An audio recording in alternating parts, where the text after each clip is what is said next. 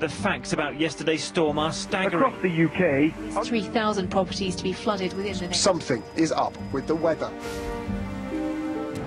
I'm weatherman Alex Beresford, and in this series, I'm investigating why Britain's extreme recent weather has been so bad. Hailstones coming through open windows last night. And finding out if it really is unprecedented.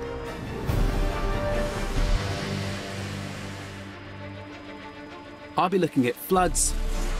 Oh! I can't believe it! And damaging storms. Oh, deadly drifts. And baking heat. 45 degrees. How on earth do you guys deal with that? To find out why weather creates headlines like never before, thundering and lightning, some uh, high winds as well, over 90 mile an hour. I'm seeking out the science that can now provide answers. Trawling centuries of British history to find out just how bad our weather really is.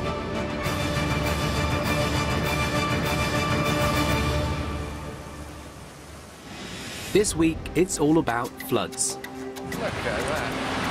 Oh dear. I'm not sure the train's going to arrive today. We've just had the wettest winter on record. I'll be seeing why for millions of people this winter was a total washout.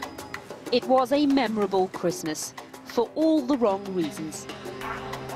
I'll be asking if history can reveal patterns in our weather by looking at 1960s Britain at its dampest the violent floods of Victorian Manchester, and the fate of an infamous king. And in our world, can science now help us predict the floods of the future? Back in early February, as hundreds of homes were being flooded, some completely cut off, I took a trip to the southwest.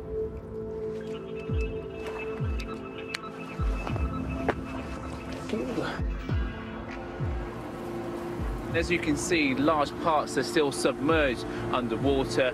We're actually heading towards the village of Muchelney. It's been cut off for around three weeks. And at the moment, the only way of getting there is on a boat. The emergency services have been ferrying people and supplies along what's normally the main road from Langport. Just up here, you can see the uh, speed sign there, 30 miles per hour. Don't think there's much chance of us going faster than that at the moment. That is incredible. I mean, wow. The Somerset levels lie just a few metres above sea level and are fed by a series of rivers. This area is no stranger to flooding, but Muchelney hasn't been hit this hard since 1928. Muchelney isn't the only village battling the floods. Across the Somerset levels, communities remain cut off and around 17,000 acres of land is still lying underwater weeks after the flooding began. The floods in Somerset this year actually lasted well into March. In fact, most parts of the country were affected, with storm after storm bringing heavy rainfall.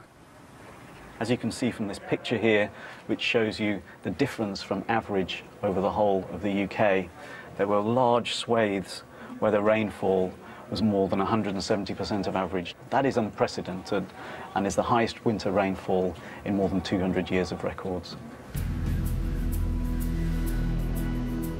In Scotland, December 2013 was the wettest December ever, with almost double the monthly average. Good lord. They've literally just cancelled all the trains in Edinburgh. By the end of the month, the focus had moved way south People are frustrated. You don't really know what's going on. I guess it's just a waiting game. On Christmas Eve, flooding in the Mole Valley led to ugly scenes at Gatwick as over 100 flights were cancelled. Over in Surrey, the River Wey had already burst its banks. Bad news for Christmas sales in Guildford. Great news if you're a daredevil wakeboarder with a 4x4.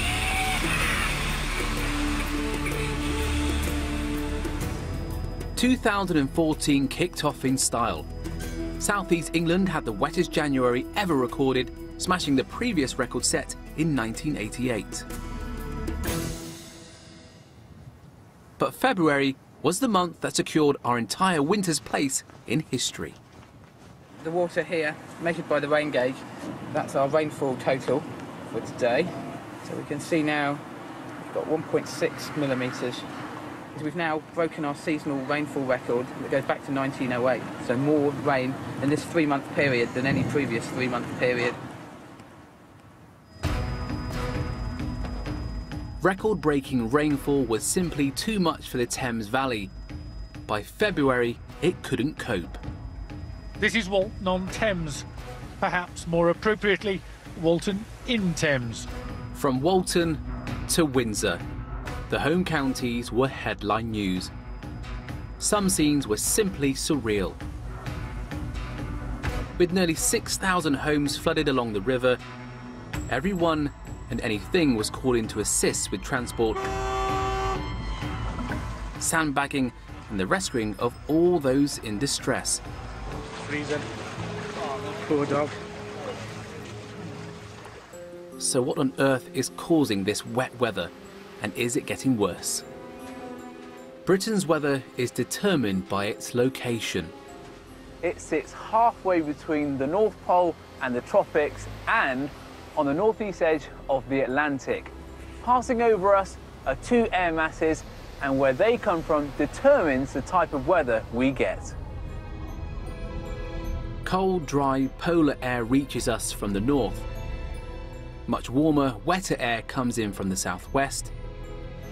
And although we usually can't see it, there's a regular battle going on above our heads as these two air masses often meet right over the UK. When warm air meets cold air, the warm air is forced upwards, creating winds along the weather front. The moisture it carries cools and condenses to form clouds, and then rain. The UK normally sees a hundred of these weather fronts every year. Last winter, we saw front after front roll over our heads. So was last winter just a one-off freak of nature? An aberration we can now consign to the history books? In short, no. We've seen this weather before. In fact, it was just two years ago.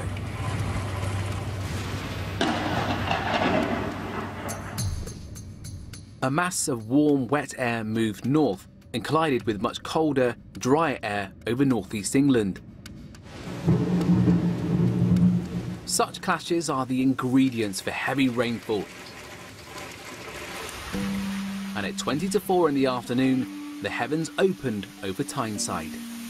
All the alarms are going off now. The city was engulfed as 50 millimetres of rain lashed down. Five and a half billion litres of water. An average monthly rainfall in just two hours. He's close to being off his feet, him. He's, He's off, off his feet. Somebody give him a hand. The rain was so intense that the city's drains became part of the problem. Unable to cope, they simply spewed the water back onto the streets. You can't even see in front of you! In all, 23,000 properties lost their power in the storm. Public transport ground to a halt. Then by 6 pm, it was all over. And Newcastle was left to recover. Except five weeks later, it happened again. The 5th of August saw another 90 minutes of carnage on the banks of the Tyne. The most dramatic local scene of all didn't happen until September. The floodwater has swallowed up a car park and washed away the earth beneath these flats in Newburn.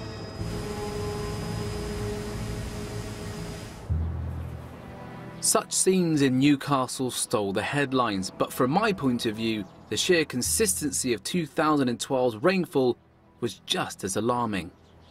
In light of the last few months, it's easy to forget that 2012 was our second wettest year ever. In fact, it missed out on the overall record by about the width of this stick, just a few millimetres.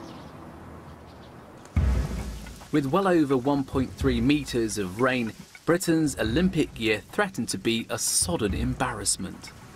But whatever the weather, the show must go on. Unlike our recent floods, it was the summer that led the way in 2012. 13 centimetres of rain made April the wettest on record, which almost seemed mild compared to 15 centimetres in June, again, the wettest on record. And this is why I think I might be keeping my four-wheel drive Volvo.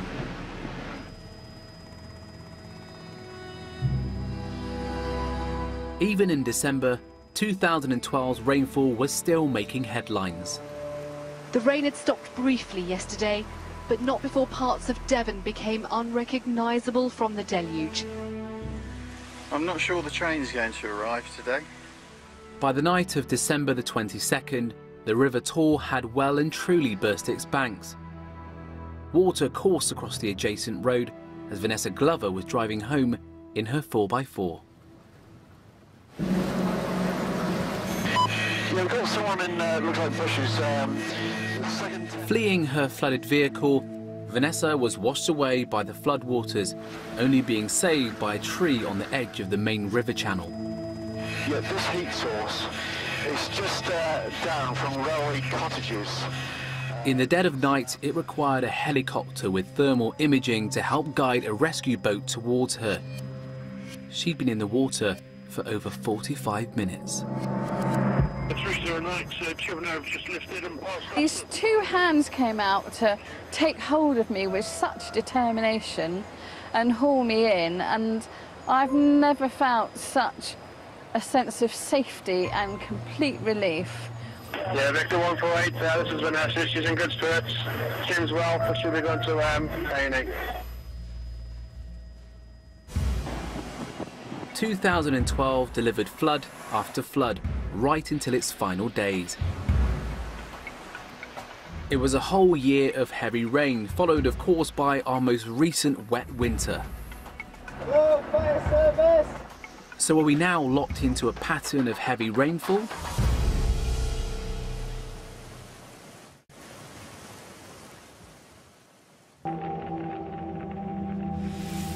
For many of us, 2014 was the wettest start to a year ever.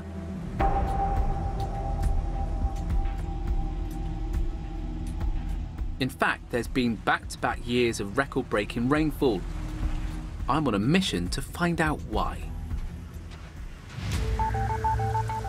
To understand where our wet weather comes from, we have to know a bit about how Earth's atmosphere works, in particular, how it moves. Britain is a small island, but it's part of a giant global weather machine. And air movements around the globe are dominated by six horizontal bands. Three in the northern hemisphere and three in the south. Each band contains air that slowly circulates, warm air rising, cooler air falling. It's just our luck that Britain lies right on one of the boundary lines, warm air moving in from the south polar air moving in from the north. All around the planet, the collision of these air masses creates powerful winds in the upper atmosphere.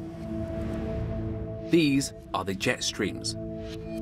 They blow in an easterly direction, propelled by the direction of Earth's rotation. The jet stream over the UK is called the polar jet. It flows through the atmosphere at around six miles up. That's about the same height that airliners fly at. It's also the strongest of the jet streams and can reach speeds of up to 280 miles an hour. The polar jet is the most important factor determining our weather. As it crosses the Atlantic, it shifts its speed and path as the air masses move above and below it. The jet tends to be strongest in winter when the temperature difference between warm and polar air is at its greatest. Let me show you how it works on this map. So in summertime, it usually comes in and goes to the north of the UK, in the wintertime to the south. Now, the shape and speed of this wave is critical to the type of weather that we get because it dictates the type of air which is flowing over our heads. Rainfall in Britain is fundamentally and crucially affected by the position of the jet stream. The rain-bearing storms that are coming off the Atlantic are bolted onto the jet stream. Winter 2013-14 had a very strong jet stream, unprecedented wind speeds across the Atlantic at times, delivering lots of rainfall. The jet was also unusually static during our recent winter. It ran further north than usual and remained locked down over the British Isles for weeks on end. Back in summer 2012, the situation was similar. The jet stuck rigidly over the south coast of Britain, leading to a miserable summer. Two different wet seasons, but one culprit, the jet stream. The jet stream may be unpredictable, but it does always flow in an easterly direction. Our weather therefore tends to arrive from the Atlantic. The first place to see it unfold is our west coast which is why I've come to Cumbria, next to the Irish Sea, to catch up with the jet as it reaches our shores.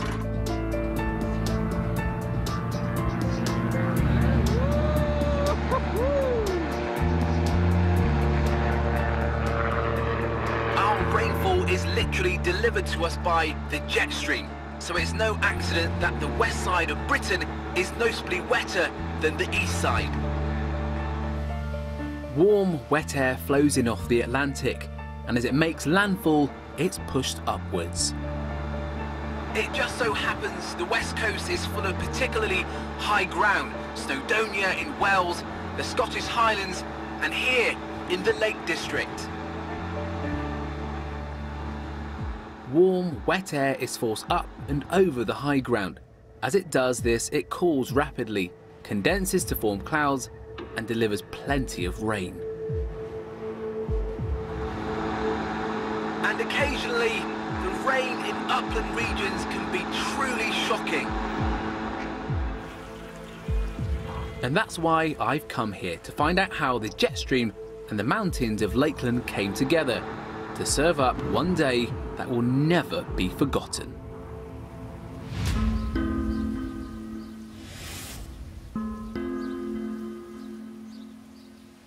This is Seathwaite in Cumbria, and although it's not raining today, it's actually the wettest pace in England. And in 2009, it broke new records. A warm, moist air mass hit the northwest coast of Britain, bringing 36 hours of non-stop rainfall. On November the 19th, 2009, this valley witnessed the wettest day ever recorded in Britain. The jet stream was flowing in from the southwest directly at a specific area of the northwest. Particularly heavy rain is expected in Cumbria, where five severe flood warnings are in place. In Seathwaite, almost 20 centimetres of rain has already been recorded.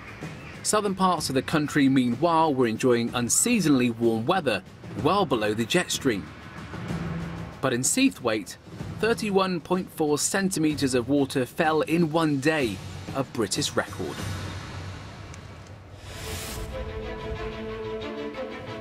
The water quickly made it into local rivers and flowed north out of the Lake District. So we've just moved to a severe flood warning in both Keswick and Cockermouth. By that afternoon, Cockermouth would become the scene of one of the UK's most infamous and tragic recent floods. We can't get to you, the water's too deep to walk through. That morning, Catherine Bell had been going about her business running the paper shop in Main Street. It was just so, so wet. It was as if somebody was throwing buckets of it on me all the time. Alongside Main Street, the rivers Derwent and Cocker quickly burst their banks. But the problems were only beginning. For as more debris piled downstream, local bridges became blocked, leaving the water with nowhere to go but the town centre.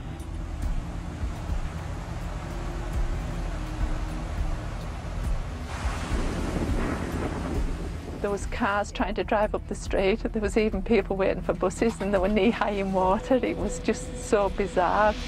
you just could not believe how people were still trying to carry on the business as normal. But by 2 pm, the waters had reached the upper parts of Main Street and Catherine's shop.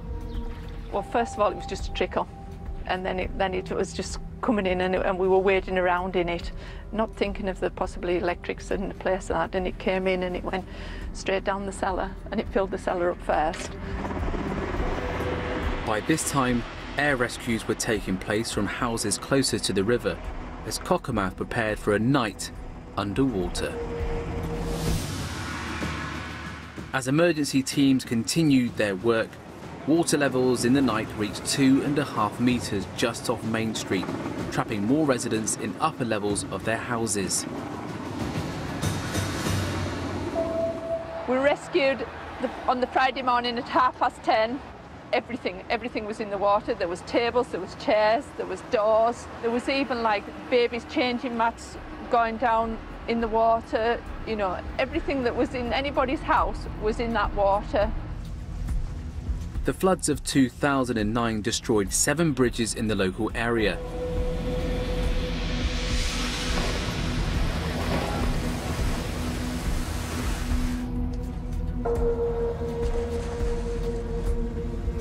PC Bill Barker lost his life when one collapsed underneath him. He'd been busy directing people and traffic away from the danger. We think that this event is something like a one in a thousand year event uh, and uh, the quantity of rain, the force of these two rivers that meet here in Cockermouth has simply been overwhelming.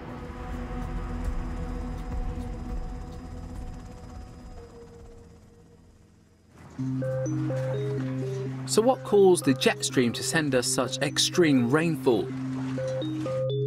Something was fueling the skies above Cumbria that week to unleash a 36-hour rain onslaught. It's called an atmospheric river.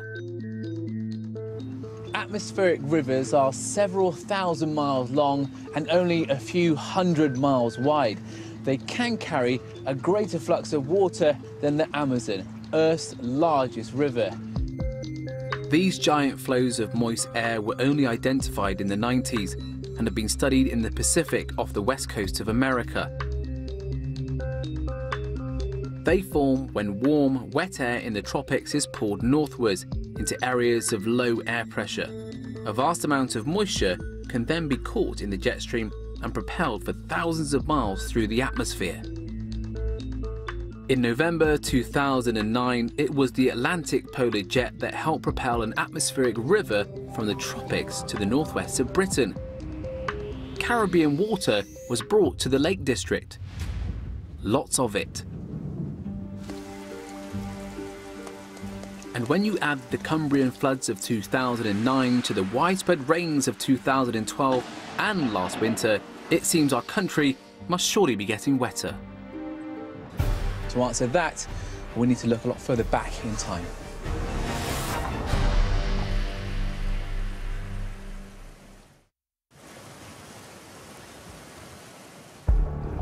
From Cornwall Yeah, we've got someone in, uh, looks like bushes. Um, to Cumbria, it seems few parts of Britain have escaped serious flooding in the past five years.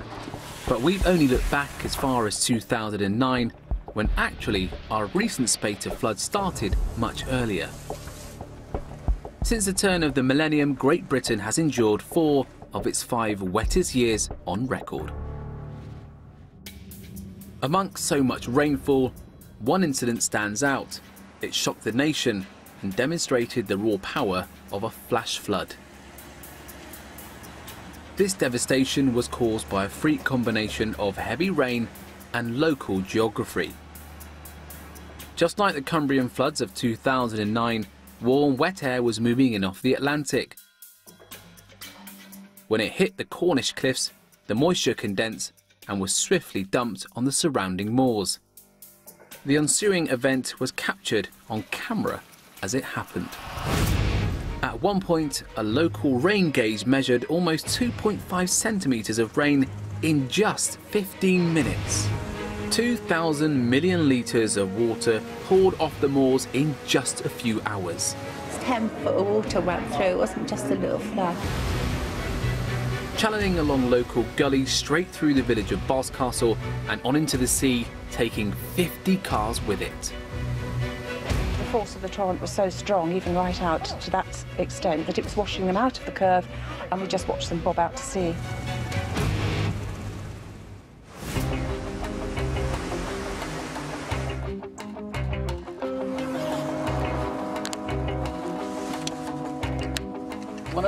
Flood footage, I'm always stunned by the amount of damage water can inflict. So, what is it about racing water that's so destructive? I've come to the Tees Barrage Whitewater Centre to find out.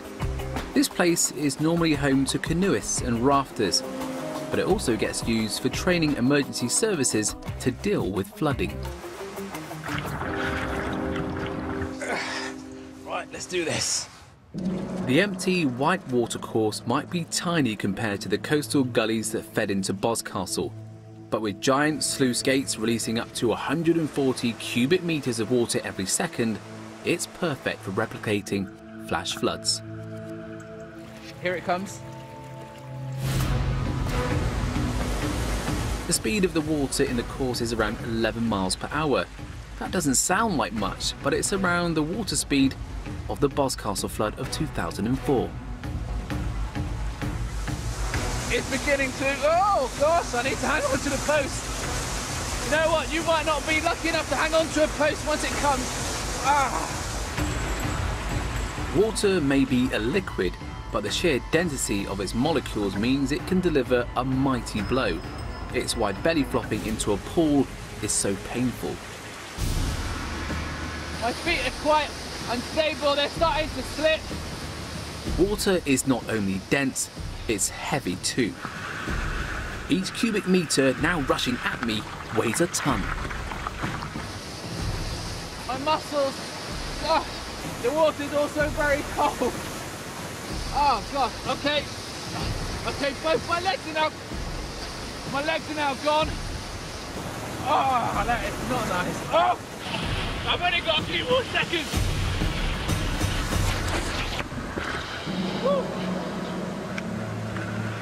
With its weight and its speed, not to mention the dangerous debris that floodwater often carries, water doesn't need to travel fast to be dangerous and damaging. Boscastle was one of the first big weather incidents of the 21st century, an age when the home video and the handy smartphone have become invaluable tools for studying the weather. But thanks partly to our British love of discussing the weather, floods have been caught on camera since the dawn of celluloid. Film from the last century reveals the UK's checkered weather history. The late 1960s witnessed an event that could easily rank alongside our recent floods. 150 millimetres of rain fell on Surrey in just two intense days.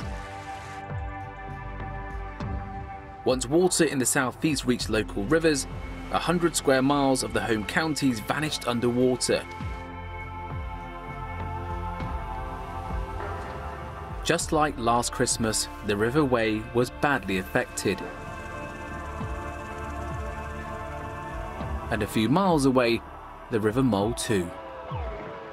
Where it meets the Thames, the scenes were uncannily like our most recent floods. Even the amphibious rescue vehicles looked familiar.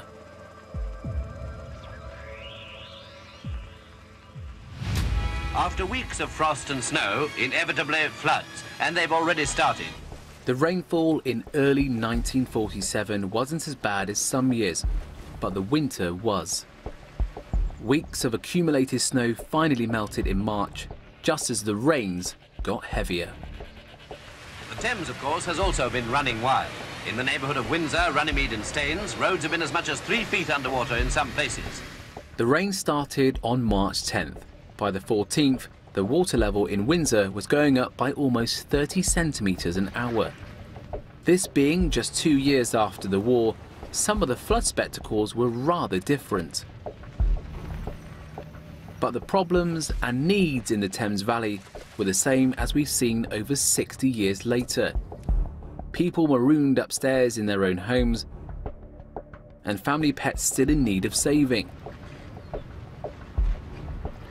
Incredibly, the floods didn't reach their peak until the 20th of March, 10 days after the trouble had started. It was the worst overall flooding of the Thames Valley in the 20th century. Not for more than half a century have floods played such havoc throughout the English countryside, with new records created in the Thames Valley.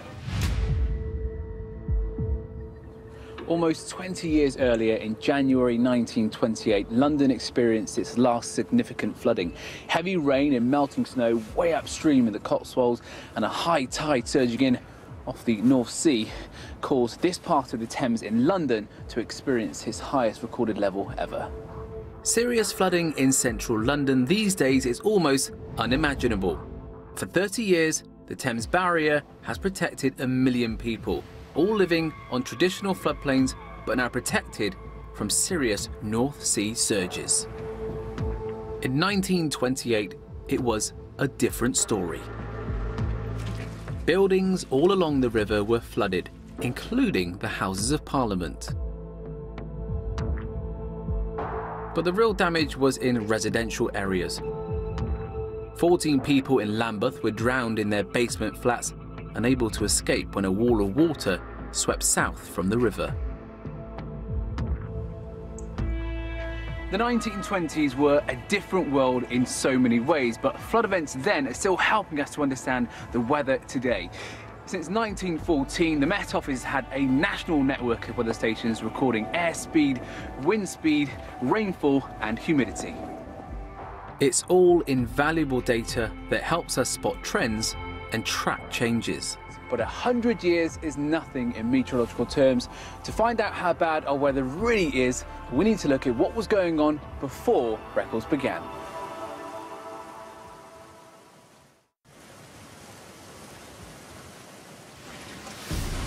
I've been looking at the record-breaking wet weather Britain suffered since the turn of the millennium. We've had the wettest winter, the most rainfall in a single day, and four of the five wettest years on record. But strictly speaking, we shouldn't say ever. Detailed and consistent rain records have only been kept for the past century. So to find out once and for all if our weather really is getting wetter, scientists have to become history detectives and delve deep into our past. There's a wealth of information about historical flood events from amateur accounts and other sources. These documents help paint a vivid picture of the past. Take Manchester 1872 for example, the worst flood incident in the city's history, and certainly the most macabre. By the 13th of March, a month's worth of rain had fallen in just two days. The events that followed had become part of Lancashire folklore. It was about half past 12 when the floods came, said the Manchester Courier of the day. The banks of the Medlock were overflowed to such an alarming extent. The first intimation of the flood was the sweeping away of a footbridge near Phillips Park. The Medlock swept through the park cemetery here, pouring down on low-lying areas, tearing up grave plots as it went. As coffins were lifted, they were swept away and smashed against the weir. It will never be known how many bodies were washed away, but at least 50 were later recovered, and some of them flushed right through the city as far as the River Mersey. And 150 years later, you can still find the odd folk group who perform a traditional local song.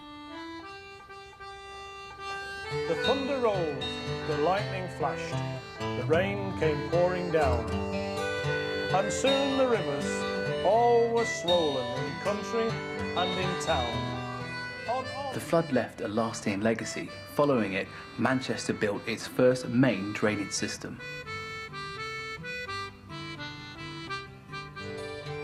Long as we live, we'll ne'er forget that awful Saturday when from the ground near Phillips Park were bodies washed away. Nor yet unmindful would we be of those who suffered loss, but grateful that from harm were free, help them to bear their cross.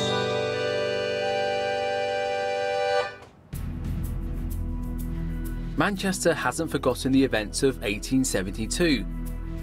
But other areas have spent centuries living under the constant threat of flooding. Few more so than Worcester in the Severn Valley. Worcester really is no stranger to flooding.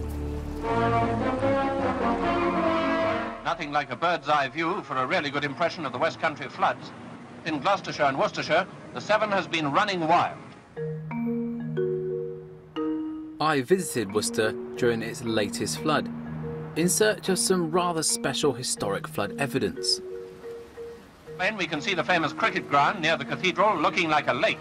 In the month of February it has a reputation for this kind of thing, but this year it's gone too far. Just come down here with me. I actually wanted to show you some flood markings, but ironically, I can't because there's floodwaters here at the moment. You can probably just make out one plaque on the wall though, which dates back to 1770 when the floodwaters actually reached just over 15 and a half metres, which is the deepest flood in this part of the UK. The aptly named Watergate is home to some 20 plaques dating back to 1672. A fascinating flood record going back almost three and a half centuries. 2007, for instance, sits proudly at fourth place in the Worcester flood charts, behind 1886, 1947, and at the very top, 1770. But shortly after my own visit to the Severn, the waters rose again. On the 13th of February this year, they surpassed 2007's levels. It's been the greatest Worcester flood in 65 years. There'll be a new plaque for the Watergate Wall.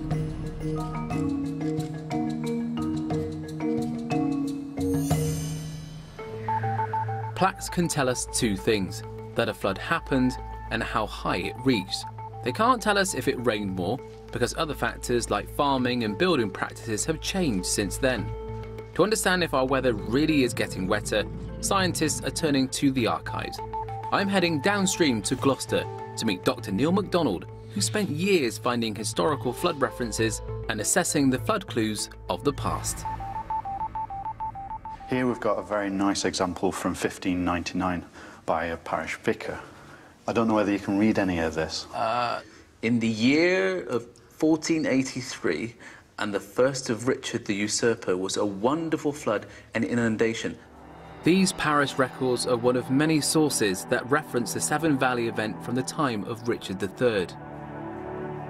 It's actually quite rare in the sense that it's using the term wonderful flood and inundation. A lot of the historical accounts you find just use the term inundation and you don't really see the word flood very much until sort of the 18th and 19th century. 500 years back, even art and literature can lend a hand. By sudden floods and fall of waters, Buckingham's army is dispersed and scattered. This is how the 1483 River Severn flood made it into Shakespeare. The Duke of Buckingham's attempt to cross the Severn Valley and confront Richard III at Salisbury was indeed foiled by the flood. A flood that helped keep the controversial king on the throne for two more years. And throughout our history of floods, it seems we've been discussing how best to cope. Even the sort of medieval builders, when they were building the big medieval sort of structures, the monastic palaces, the sort of cathedrals, the abbeys, they had a good knowledge of where the floodwaters reached, and they'd retain that knowledge. They sort of build the abbeys or the cathedrals right. above that water level. And the iconic image, I guess, is Tewkesbury, where you get the floodwaters in the past couple of years have swept around and sort of almost made it an island. And taken as a whole, all these documents and references point to one thing. Our recent floods are not as unusual as we like to think. Here in, in Gloucester, we see sort of flooding of 1770 on, yeah. the, on the Severn. In 1771, we have some of the largest ever recorded floods up on the sort of uh, Wear up in Durham, also on the Trent at Nottingham. So very large flood events clustering together. One of the interesting things we're starting to be able to figure out from this kind of material is that actually flood events tend to occur in little phases. So we get several events in a small sort of period sometimes, and they, they're effectively known as flood clusters. So without computers, weather stations or rainfall measurements, there's still clear evidence that floods group together. The record-breaking Worcester event of 1770 was part of a great cluster that affected much of Western Europe in the 1770s. A year later, in 1771, the attention was further north in Newcastle upon Tyne. 32 people along the Tyne and Wear valleys lost their lives, including two who were on the Tyne Bridge as it collapsed. And much more recently, the Thames Valley flooding of 1947 was actually part of a widespread flood cluster that spanned the 40s and 50s.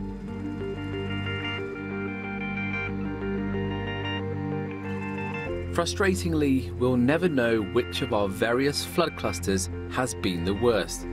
There was no rain gauge around when Worcester hit its 1770 high point. All we know is it was part of a succession of wet years, remarkably like today. Our climate tends to follow patterns of weather. It's known as natural variability. But what causes this, and can our recent winter simply be explained by it?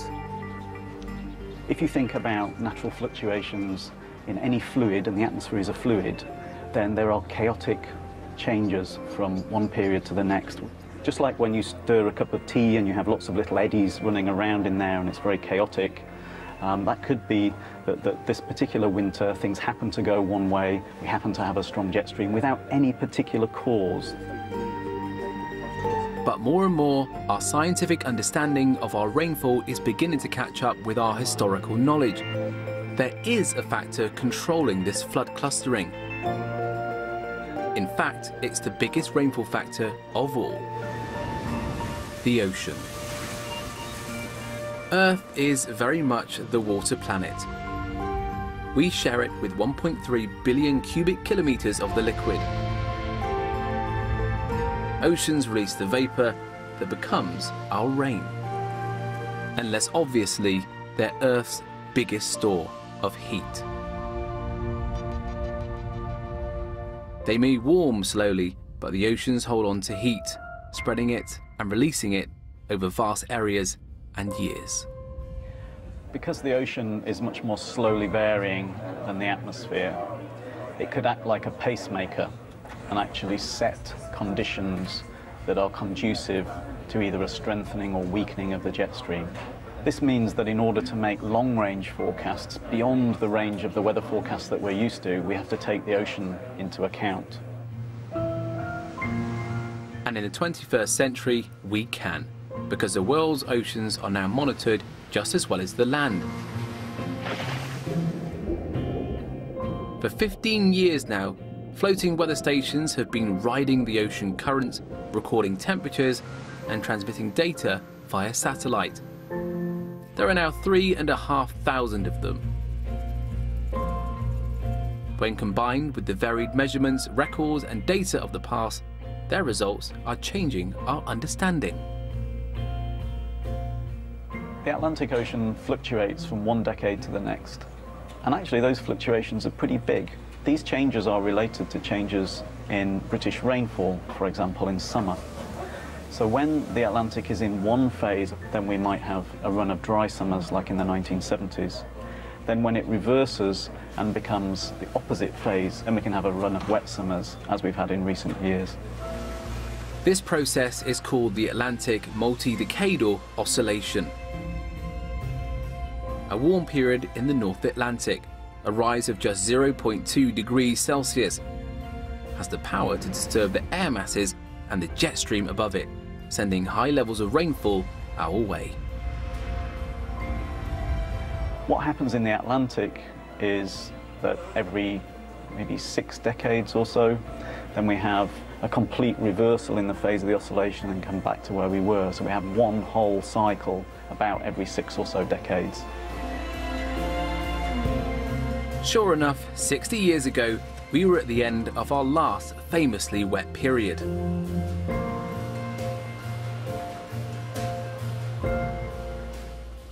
During that time, the North Atlantic had been warmer, just as it is now. We've now had well over a decade of heavy rainfall. History and science would suggest we should be near the end of this particular flood cluster. But now, of course, there's an additional complication global warming. Since the 1880s, global temperatures have risen by 0.7 degrees Celsius, that small rise has caused around a 5% increase in water vapour in the atmosphere. The atmosphere is slowly becoming warmer and wetter. So our record-breaking winter and the flash floods we've seen in Newcastle and in Cumbria may be no more than events in our latest flood cluster. But if the Atlantic slowly warms over time, it will encourage more and more extreme events of this nature. The jet stream will continue to send them eastwards, but we can't be sure how many of them will reach us here in Britain. We simply cannot predict how the jet stream will be affected by climate change. But what's highly likely is that with a warmer atmosphere and a warmer Atlantic, there'll be plenty more wet weather heading our way. And when the jet stream does get stuck over our heads, Britain will be set for many more scenes like those of last winter.